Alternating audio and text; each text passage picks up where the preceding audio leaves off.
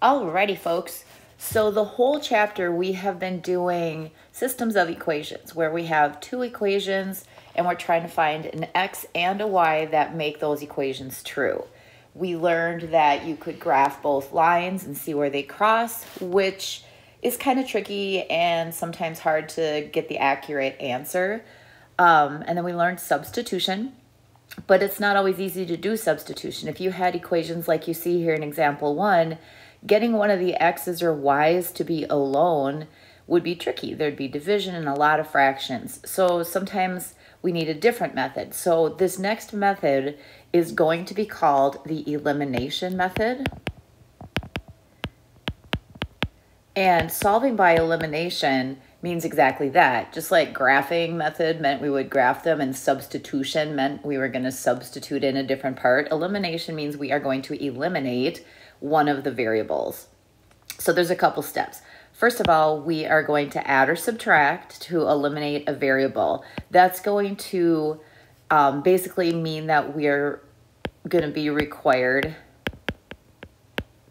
um, to have an equal but opposite pair in order for them to cancel out or eliminate. So that would mean like maybe you're going to have a 2x and a negative 2x or a negative 5y and a positive 5y. So those will cancel out. Then secondly, um, we'll just have one equation with one variable. So we'll be able to solve. And at that point, we'll be able to find whichever one's left. So we'll either find x or y, just depending on the question. And then the third thing is we're going to do what we've been doing all along with substitution is we're going to go ahead and substitute that variable that we do know back in. So basically what we're going to do is plug in the x or y we know.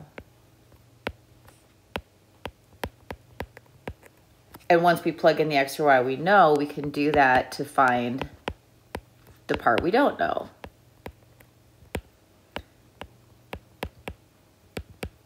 So if I know X, I'll be able to find Y. If I know Y, I'll be able to find X. So like all math, it's a lot easier to see it in action. So let's go ahead. So we're going to first start with step one, add or subtract. So I draw a big fat line under these two, and then I literally look here and say positive 2x, negative 2x. Those eliminate. Positive 3y, positive 5, 5y, that makes 8y. 11 and 3, 13. They're both positive, so I'm just adding them together and I get 24. So I've done step one. I added or subtracted these two um, equations.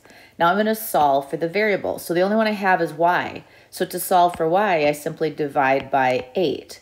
So now I know that y has a value of 3, keeping in mind that I am getting an xy pair for my solutions. So now I do step three, and I'm going to plug in the y that I know back into either one of these equations. And this part can get a little messy. I usually try to pick the equation that's going to be the easiest. And by looking at these, I like to avoid negatives. I'm going to go ahead and use the top. So I have 2x plus 3y equals 11, but my y value is a 3 from right down here. So I'll have 2x plus 9 equals 11. Subtracting 9, I'm just doing the math, you know, that we learned from solving from the beginning of the year. 11 minus 9 is 2. And dividing by 2, I get the other part of my answer, which means if I went back and did this using substitution, I'd get 1, 3. If I did it using graphing, I'd get 1, 3. It's just that in this case, the elimination method is a lot easier. If I really wanted to make sure that I knew my answer was correct, I would go back to each problem, put a 1 in for the x and a 3 in for the y, and then just check. Does 2 times 1 plus 3 times 3 really equal 11? Run it through my calculator. Yep, negative 2 times my x, I'm doing the second equation, plus 5 times my y. Does that equal 13? Run it through my calculator. Yep, I know without question that this is my solution to that system. All right, let's try again. Now looking at this one, I have a positive 3y and a positive 3y. Those are not going to cancel out. So that's why up here it says you can add or subtract. When I go to subtract, what I really do is change the signs of the bottom row. So it's going to be a minus 5x and a minus 3y and a positive 2. I can change them all. I can't just change one. So now these eliminate because I have my equal but opposite pair. Positive 3y, negative 3y, gonzo. So those are eliminated. Now you have to be careful. You have a positive 4 and a minus 5. So that leaves you with a negative x. Positive 2 and another positive 2 gives you a 4. We don't really want negative x, so I'm going to divide by negative 1 and find out that x has to be negative 4. So again, keeping in mind that this time I found the x first, I put in the first half of the work, excuse me, the first half of the answer. Now I need to go back to one of my original equations. So I'm going to get rid of all my scribbly scratch. And I need to put that negative 4 in and see what y equals. So for no particular reason except that maybe it'll be easier, I'm putting it into the top. I have to put it in for x this time. Last time we found y, so we had to plug it in for y. This time we are we found the x first, so I make sure that I put it into the x spot. I do not know why, that's what I'm gonna be looking for. So negative 16 plus 3y equals 2. Now I just solve. And again, if you haven't been awesome at solving in the past, this is going to get to be a lot of work. So hopefully that's something that you've been getting more comfortable with as you practice throughout the year. So now I have y is 6 Okay.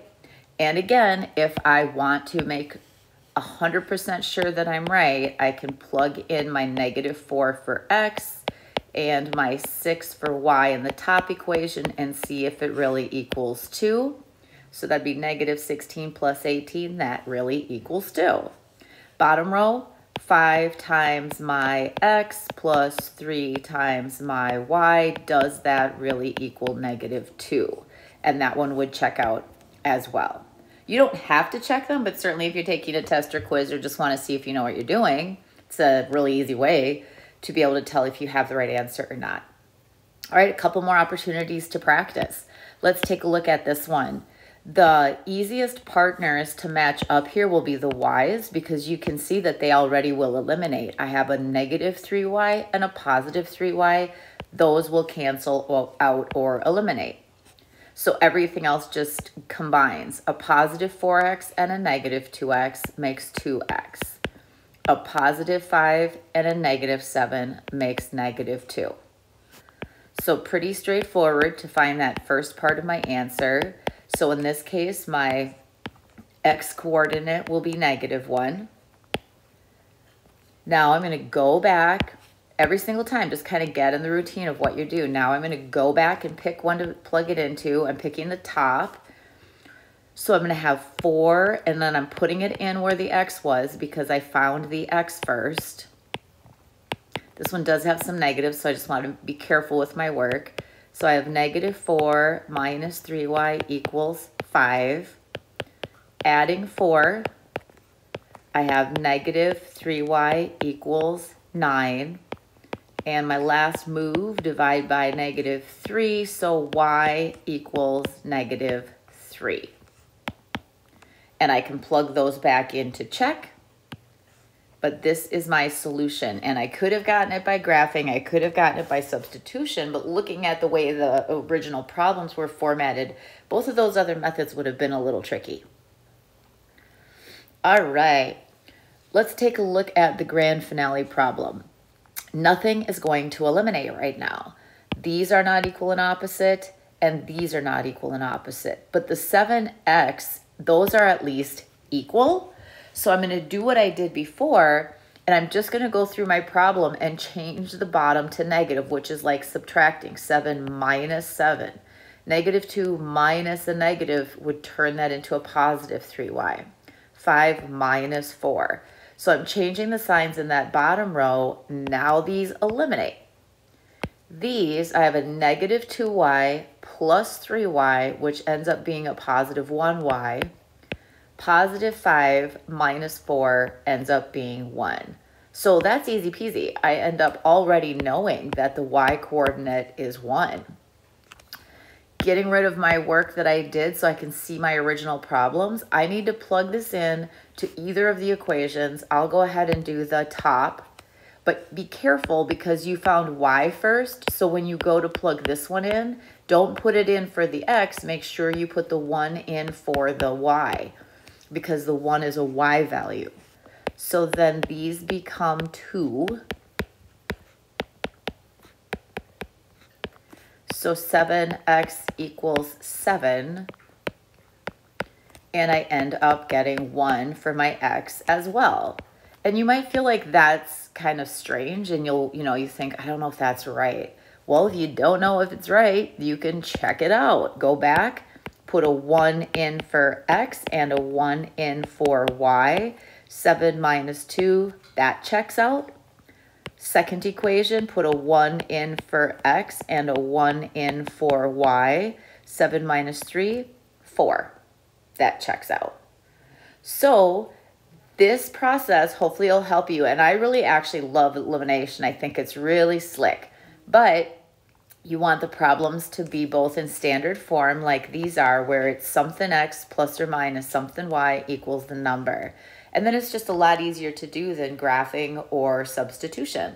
So go ahead and give it a try. We're actually going to be practicing this um, again for another day, um, but taking it up a notch where we have to create our own matching pair in 7-4. So get your brain ready for that. Have a terrific day. Bye, guys.